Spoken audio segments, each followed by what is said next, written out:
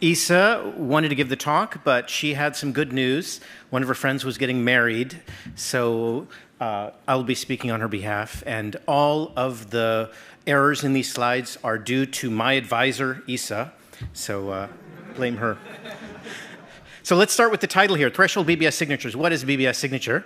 Um, It is a scheme designed by Susilo, and Mu in 2006. Starts like any other uh, basically elliptic curve signature scheme. So, for example, it looks like this. Okay, yeah. Has a secret key where X is chosen from ZP, uh, where the public key is basically G to the X with a few other group elements in there. So similar to essentially every other elliptic curve signature algorithm like EdDSA, Schnorr, and ECDSA, etc. The magic happens with the signing algorithm, which is different. It looks like this. You don't have to parse it right away, but you do have to understand a few things. The messages are in the exponent of this right here, and the secret key here is like 1 to the X over E, uh, X plus E. Okay, and the verification here requires two uh, pairing operations. So it's very costly. This is a signature scheme where it's more costly to verify than it is to sign. And just to give you uh, like a quick three slide snapshot of what's going on in this paper, right? The one difficulty with signing here, especially if you want to distribute the signing across many parties, is this little red bubble right here. 1 over x plus e, x is the secret here. E is like a nonce for the signing. So the problem becomes how do you invert the secret key in the exponent? Okay, that's the major technical problem with distributing the signing of this type of signature. And our observation is that it has a lot of parallels with the threshold ECDSA scheme, which we've worked on previously, and we found very efficient solutions. You see, there's a 1 over k in ECDSA. It's in the base field. It's S. S is in sort of like a, you know, the scalar group, not, not a group element. Here, the exponent uh, 1 over x over e is, is applied to some element A that's part of the signature, slight difference. But we'll see that that's not a problem. Importantly, why do we care about this BBS plus signature? Um, okay, well, anonymous credentials, that's the answer. And what are anonymous credentials? So you can, I'll give you a few slides since the next talk is also about anonymous credentials. Uh, credentials are like cookies here. So essentially, this one party has like a credential or a cookie that allows them to do something on behalf of Northeastern Server, as you can sort of see. But there's a problem with cookies slash credentials, which is that you can be tracked across the internet. So if you show your credential slash cookie to one party, verifier one, and then you show the same thing to verifier two, then they'll be able to link you across. And in fact, this is the basis for several trillion dollar companies on the internet. So how can you get around that? Uh, well, this anonymous credential allows you to basically get a credential from the issuer and then basically prove to another party using like zero knowledge techniques that you have a credential with certain properties. You could do that with verifier one, then you could do that with verifier two, and in particular, then these two parties won't be able to uh, link you, right? So that's one of the nice properties about anonymous credentials. You can also have a credential that has many attributes, and you can only show a subset of these. In fact, the next talk is going to talk a lot about uh, this particular thing. So Again, back to the main question why do we care about BBS Plus? Well, that is because this signing mechanism right here, this signature equation, makes it very easy to produce uh, zero knowledge proofs about certain messages. So it's very efficient to produce like um, Schnorr style proofs that uh, you know some signature that verifies on a particular message vector. Some of those message vectors can be, some of the aspects can, uh, some of the MI can be public, some can be private. You can basically prove things uh, about those messages. And not only is this theoretical, but this, this particular signature scheme is widely deployed in things like EPID, which uh, now has like a billion customers counting if you think about all the processors that Intel has been producing since 2015. And then there's DAA, there's K times anonymous credentials, blacklistable credentials, et cetera, et cetera. So that is why BBS is an important signature scheme to consider. It is a legacy signature scheme, and it is used for anonymous credentials. Yeah. And uh, what's the problem so far? Well, the issuer of a credential is a single point of failure.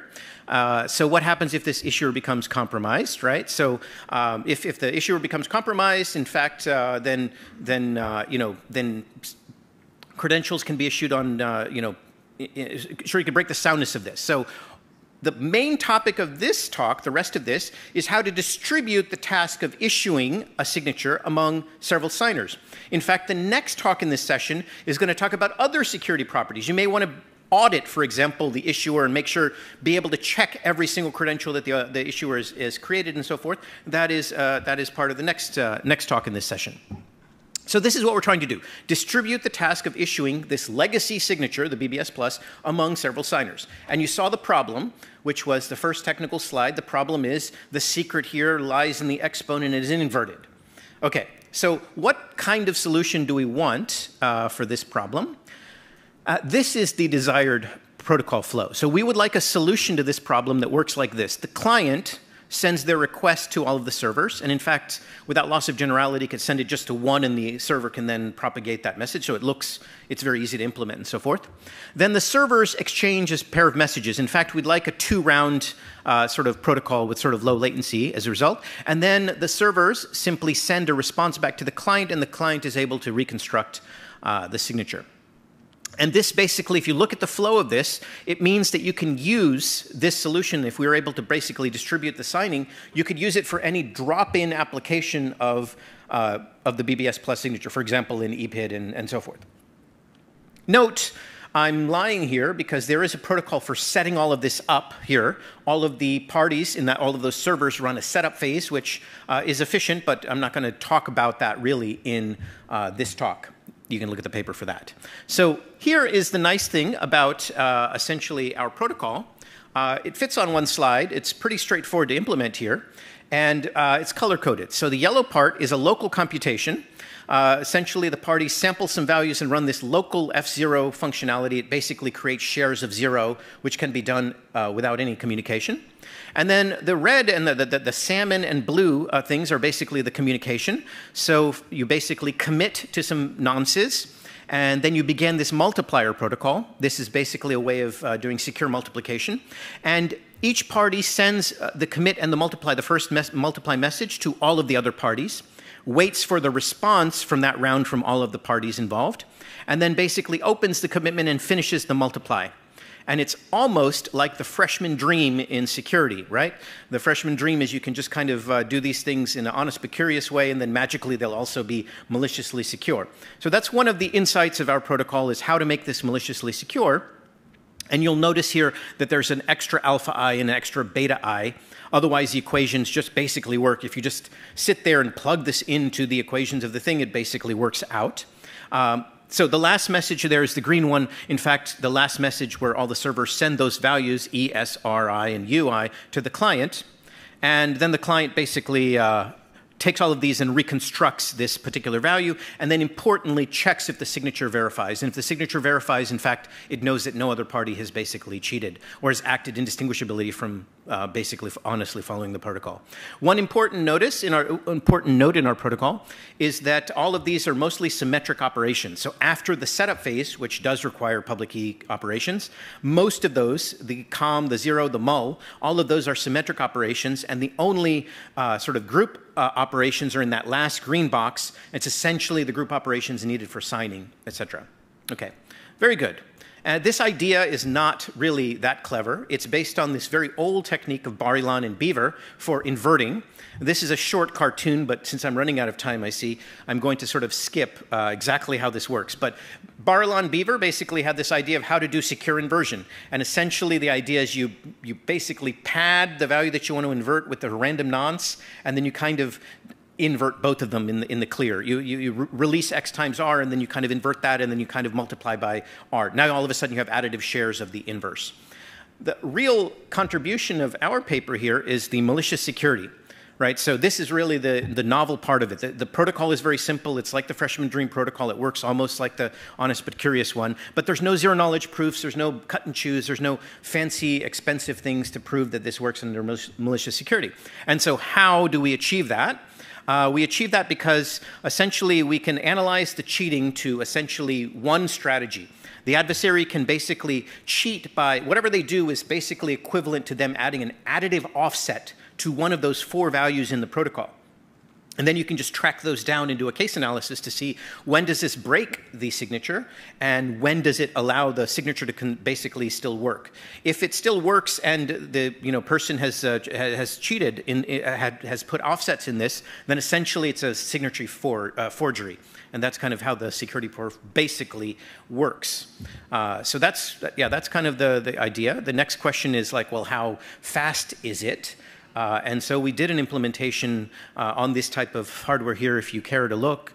Uh, and we basically tested on a LAN as well as a sort of wide area network. And here are essentially the signing results. In fact, we've improved the protocol a little bit since our camera ready version of this. And so we've gotten this better, but we haven't updated this part of the graph yet. Uh, here are the important things. The signing uh, is basically manageable. It's on the order of seconds as the number of parties grow in the x-axis. And the right side here is basically giving you the um, essentially how long, how much compute extra overhead does it take. So that, uh, that bottom two yellow, the yellow portion of that bottom graph there gives you how much our protocol runs between two and 32 parties uh, when it's running on a local, on one machine or on a LAN machine. Uh, you know, you can sort of see that, uh, in fact, the LAN machine starts beating the local machine because of the compute, uh, because basically we have more processors at, at some point. And then the WAN, essentially those WAN break, those are the blue points here. Essentially they break according to latency. And it's essentially exactly the number of messages needed in our protocol if you look at the latency between West Coast and East Coast and United States and Europe and United States and Asia.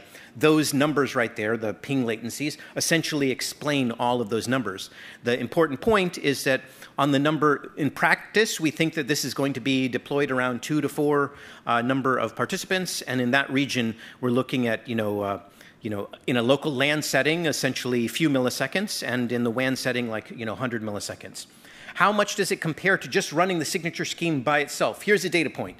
If you just sign with BBS Plus, it takes about 1.5 milliseconds for a single signer to sign. And now you can basically see that the overhead of MPC in this application is like roughly 3x if you're running in a local setting, and roughly like you know 40x if you're running in a WAN setting, mostly due to latency.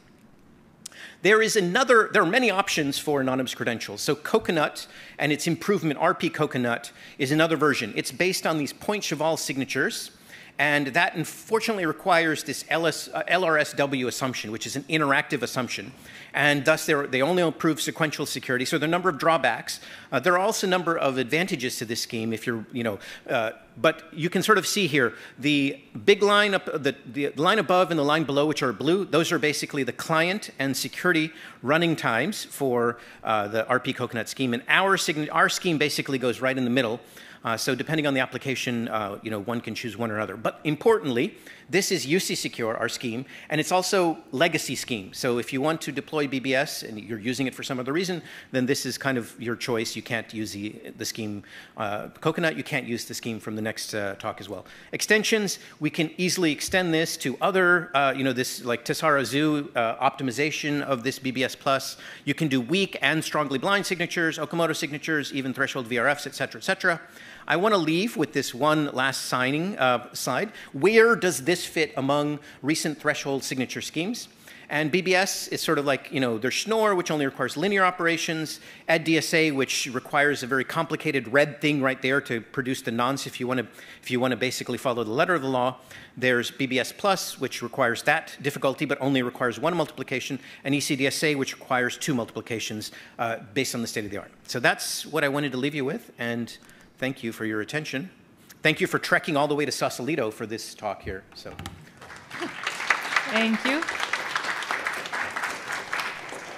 Any questions? If you have any questions, please go to the mic. Uh, yes, great talk, by the way. Um, if you go to uh, the BBS comparison with RP Coconut, um, the graph, I was just curious since I noticed that it looks like the uh, RP Coconut client is a linear trend, whereas the um, local client might be, or the uh, your example might be uh, super linear. I was wondering, uh, did you look at um, at what number of parties, for example, it, it like it, does it always stay under that line, or is there uh, some point where um, it becomes more efficient? I think at two. Well, uh, so the problem is RP Coconut local client has to do a lot of oper- the client accumulates a lot of information from the servers, Right. has to do a lot of pairing operations to put all that stuff together. That's where this cost is. And essentially, our client has to do one pairing operation, uh, just to verify the uh, equation.